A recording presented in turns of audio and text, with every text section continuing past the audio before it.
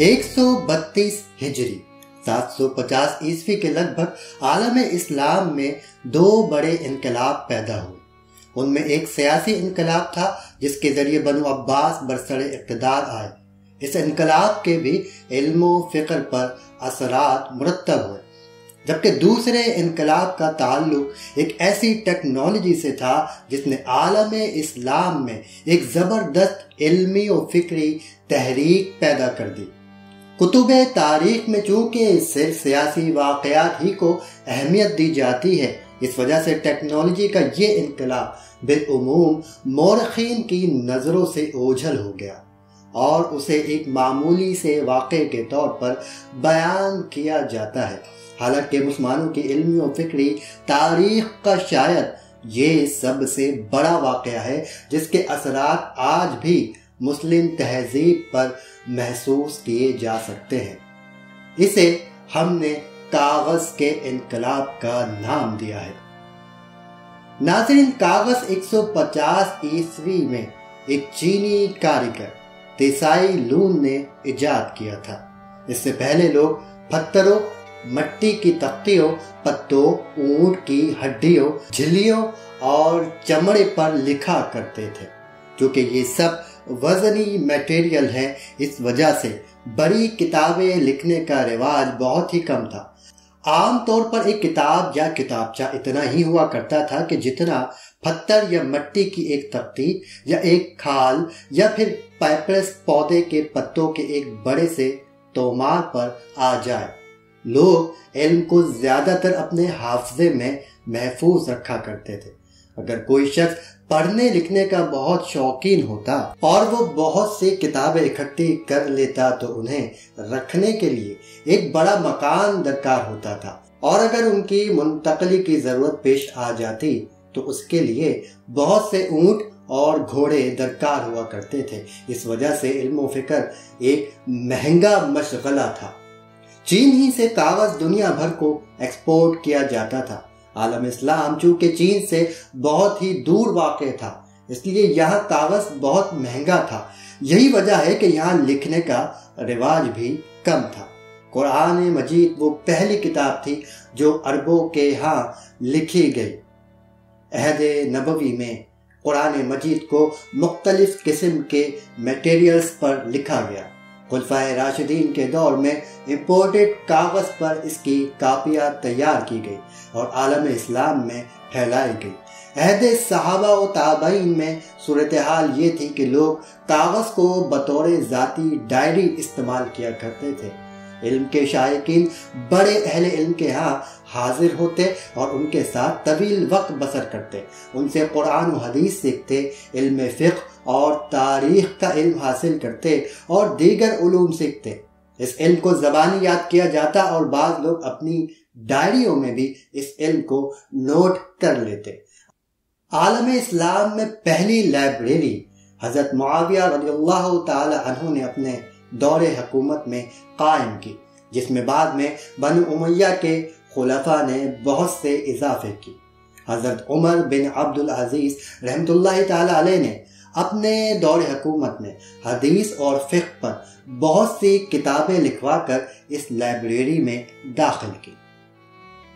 नाजरीन, बनु अब्बास के बरसरे इकतदार आने के बाद मुसलमानों की इल्मी और फिक्री तारीख का वो अजीम शान वाक़ पेश आया जिसे हमने कागज़ के इनकलाब का नाम दिया है। हुआ कुछ यूँ के अब्बासी अफवाज और चीनी शहनशाह जुआन डोंग की अफवाज के दरमियान मौजूदा कर्गिस्तान के इलाके में दरियाए तलाश के करीब एक हिजरी में एक जंग हुई जो कि जंग तलाश कहलाती है इस जंग में मुसलमानों को फतेह हासिल हुई और इस इलाके पर अहले चीन का इकतदार हमेशा के लिए ख़त्म हो गया नाजरीन ये इलाका कागज़ की सनत का मरकज था और यहाँ से कागज़ बनाकर आलम इस्लाम और दुनिया के दीगर खत्तों को बरामद किया जाता था। नाजरीन, इस जंग में जो कैदी मुसलमानों के हाथ लगे, उनमें से बहुत से लोग कागज़ बनाने के फन से वाकिफ थे। उनसे खुरासान के मुसलमानों ने कागज़ बनाना सीखा और कुछ ही अरसे में सबरकंद यानी मौजूदा उज्बेकिस्तान का इलाका कागज़ का मरकज बन गया। जैसे जैसे कम कीमत कागज़ दस्तियाब होता चला गया, मुस्लिम उलमा किताबें लिखने की तरफ़ मुतवजे होने लगे। ये सिलसिला 140 हिजरी के अशरे में शुरू हुआ और तीसरी सदी हिजरी में अपने उरूज को पहुँचा।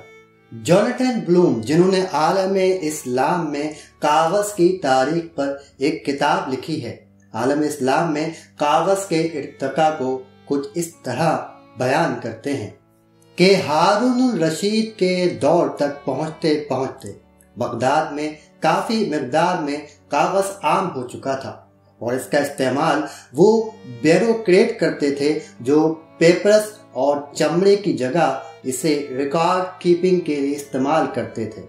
चौदहवीं सदी के शुमाली अफ्रीकी अजीम मौलिक और फलसफी इब्ने खलदून के बयान के मुताबिक वज़ीर फजल बिन याहिया ने कागज़ की सनत का आगाज़ बगदाद में किया। ये उस वक्त हुआ जब किसी वजह से चमड़े की किल्लत हो गई और उसे लिखने के लिए मटेरियल दरकार था। वज़ीर, जिनके खानदान का ताल्लुक मौजूदा शुमाली अफ़गानिस्तान में बल्ख शहर से था, अपने बचपन के ज़माने से कागज़ के इस्तेमाल से वाकिफ रहे होंगे। इब्न खलदून लिखते हैं, सरकारी दस्तावेजात और खतूत के लिए कागज़ इस्तेमाल किया जाने लगा। इसके बाद लोगों ने कागज़ की शीटों को सरकारी और इल्मी तहरीरों के लिए इस्तेमाल करना शुरू कर दिया। इसके नतीजे में कागज़ की सनत अपने उरूज को पहुँची। इब्न खलदून ने कागज़ के अहम तरीन फवाद में से एक बयान नहीं किया, क्योंकि इसमें रोशनाई जज्ब हो जाती है। इस वजह से तहरीर को एक बार लिखकर मिटाना आसान नहीं। इसके बरअक्स चमड़े और पाइपरेस पर ऐसा करना मुमकिन न था।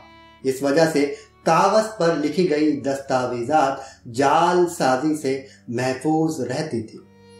जल्द ही कागज़ बनाने की सनत और स्टेशनरी की दुकानें बगदाद में कारोबार बन गए। अहमद बिन अबी ताहिर, जो कि एक उस्ताद और मुसन्निफ थे और कागज़ का कारोबार करते थे, बगदाद में सौकुल वराकीन कायम किया। ये बाज़ार एक ऐसी सड़क पर वाक़ थी जिस पर सौ से जायद कागज़ और किताबों की दुकानें थी। अब्बासी बगदाद में किताबों की ये दुकानें रिसर्च लाइब्रेरीज की शक्ल इख्तियार कर गई नवी ईस्वी, यानी तीसरी सदी हिजरी के मुनाजरे के आलम आल जाहिस के बारे में हमें मिलता है कि वो योमिया बुनियादों पर कोई दुकान किराए पर ले लेते और वहाँ स्टॉक में मौजूद तमाम किताबें पढ़ डालते। एक और मशहूर कारोबारी शख्सियत अबुल फरज मोहम्मद बिन इसहाक थे, जो कि इब्ने अबी याकूब अन नदीम अल वराक के नाम से मशहूर हैं।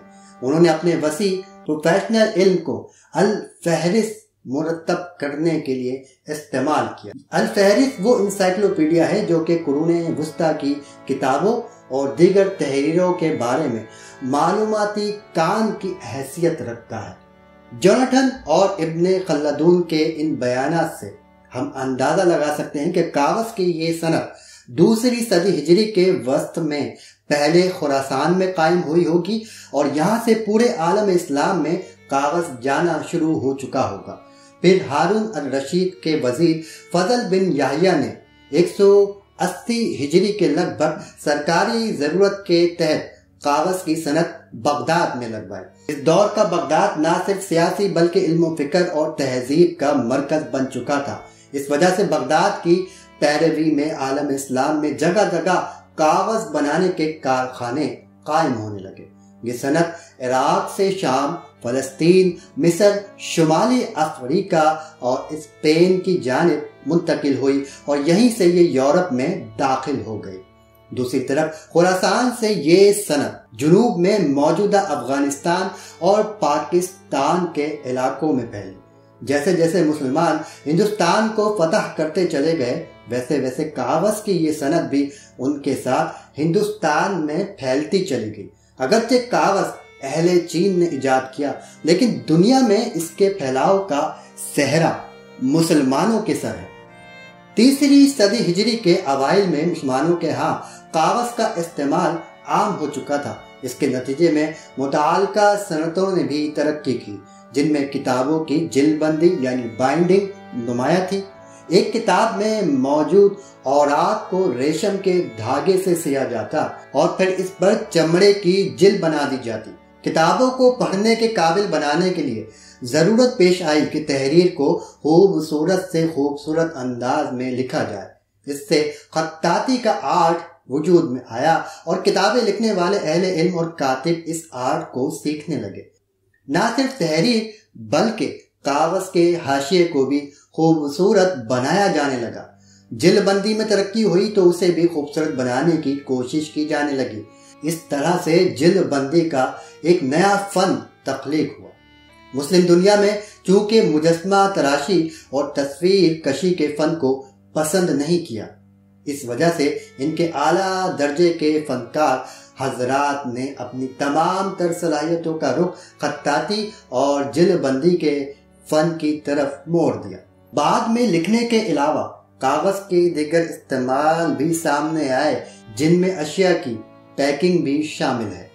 कागज़ का ये इनकलाब जो मोहतात अंदाजे के मुताबिक तकरीबन 50 बरस में वकू पजीर हुआ इसने एक अजीम इल्मी और फिक्री इनकलाब को जन्म दिया। अहले इल्म को जब कागज़ मैसर आया तो उन्होंने उसे अपने ख्यालात को फैलाने के लिए इस्तेमाल करना शुरू कर दिया।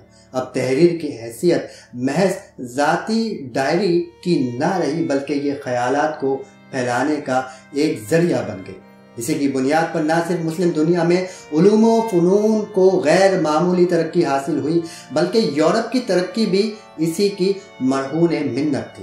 कागज़ के इस इनकलाब का मवाजना पंद्रहवीं सदी ईस्वी में, प्रिंटिंग प्रेस के इनकलाब और बीसवीं सदी में कंप्यूटर के इनकलाब से किया जा सकता है। बल्कि सच तो यह है कि अगर कागज़ का ये इनकलाब ना आया होता तो प्रिंटिंग प्रेस इजाद न हो पाता। और ना ही फनून इस दर्जे में पहुँचते कि कंप्यूटर इजाद होता, जिसने इल्मो फन को डिजिटलाइज कर दिया है। सौकुल वराकीन, नाजिम कागज़ के इस इनकलाब में एक नहायत ही अहम किरदार सौकुल वराकीन ने अदा किया। जिसे एक आलिम अहमद बिन अबी ताहिर ने कायम किया। सौक अरबी में बाज़ार या मार्केट को कहते हैं और वराक का मतलब है कापी करने वाला। इस दौर के ताजिर हमारे दौर के किताबों के ताजिरों की तरह इल्मो फ़िक्र से दूर नहीं हुआ करते थे, बल्कि बजाते खुद बड़े आलम होते थे। जब कागज़ को इल्म के फैलाने में बड़े पैमाने पर इस्तेमाल किया जाने लगा तो ज़रूरत ये पेश आई कि किताबों की कापियाँ तैयार की जाए। एक आलिम के लिए ये तो मुमकिन था कि वो अपनी किताब एक बार लिख लें। लेकिन अगर इसकी मसलन दस कापियाँ तैयार करना हो तो ये उनके लिए एक मुश्किल काम था। इस ज़रूरत ने वराकीन के तबके को जन्म दिया। बाज वराकीन बतौर फ्री लांसर काम करते और मुख्तलिफ़ दुकानों से काम पकड़ कर सारा दिन इस अमल में मसरूफ रहते। क्योंकि उनका काम यही होता था। इसलिए उनकी महारत बेहतर से बेहतर होती चली जाती और ये बहुत कम वक्त में किताब की नकलें तैयार कर लेते थे। चंद ही दिन में किताब की सौ कापियाँ तैयार हो जाती और जिल्द बांधने वाले उनकी जिल्दे तैयार कर लेते। मुसन्निफ या मुसन्निफ के सरपरस्त उमरा उन्हें मुआवजा अदा करते।